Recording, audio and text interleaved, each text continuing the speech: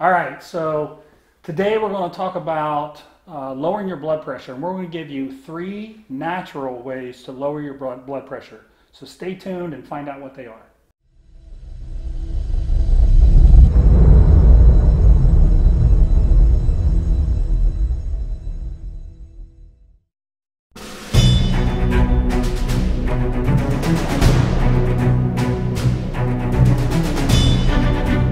Okay, I'm gonna keep it. You know what, John? I want to keep it because I still want people to understand. They don't have to go out there and buy. Oh, I'm gonna buy this, all these supplements to lower my blood pressure. I'm gonna give you three ones that actually they're pretty common. One is fish oils. Absolutely have shown to not only lower blood pressure, lower chance of you dying. Easy, go to the store, buy them. Now be aware that when you buy them in a transparent bottle or a transparent container, they're no good. So the bottle has to either be protected from the sunlight because it can be damaged by the sunlight. Two, vitamin D, easy vitamin. Anybody can do that. Go on the store, buy vitamin D, any vitamin D, as long as vitamin D3. Start taking between 1,000 to 2,000 every day. If you're really, really low, you might need to go a little higher to vitamin D levels of 5,000 IUs per week, per day, excuse me. And the last one is something that most people, what I love and enjoy is garlic. When you start consuming at least one clove of garlic a day, have shown to decrease your blood pressure by three or four points, which is very impressive. All right, so I'm going to surprise you now. Go ahead. I, I have some fish oil in the refrigerator, and I want you to look at it, and I want to get your opinion on it. Okay? Go ahead. So I'll be right back. All right, so I have Wiley's Finest Wild Alaskan Fish Oil. Is this good stuff or what? Actually, I know this company, and yes, I do li- like this company.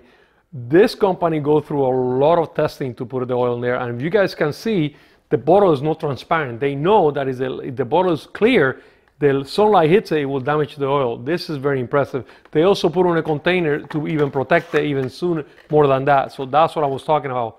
Yes, this is a good brand. Now, so how much, like how many grams of fish oil do you want to take? To make a difference to your health, you need between three to six grams a day. Now, it depends on the situation. You want to lower your blood pressure? Three grams will do it. Now, don't take one or two tablets because it's not going to do anything for you. Is there, do you have a preference over like the capsule versus the liquid like I have? The problem between the capsules and the liquid, the liquid you cannot take with you on the plane when you're going to fly. It's inconvenient to do that. The capsule you can take anywhere. It's more convenient. That's the only preference. Now, the fish oils liquid, once you open them, if you open this and you leave it outside the fridge, they get damaged faster. That is the only other difference. But otherwise, no. My daughter bought me uh, from, um, where was she? In Antarctica or someplace in the north out of here. She bought me a bunch of liquid fish oils and I'm enjoying it. Okay. Yeah, I like it just because it's easy and I don't have to take a ton of pills. Okay, so you mentioned fish oil and what? Vitamin D? And vitamin. Okay, so vitamin D.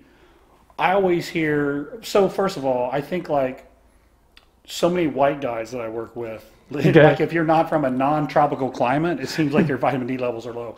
And honestly, this is something I've struggled with for many years, and I had to take mega doses, mega doses, ten thousand units every single time to even see it change. Is that common? I mean, Actually, it is very common, and you'll be surprised, John. By the way, John is missing part of his intestines, so that's going to make it hard for him to absorb it. I take 10,000 IUs every day.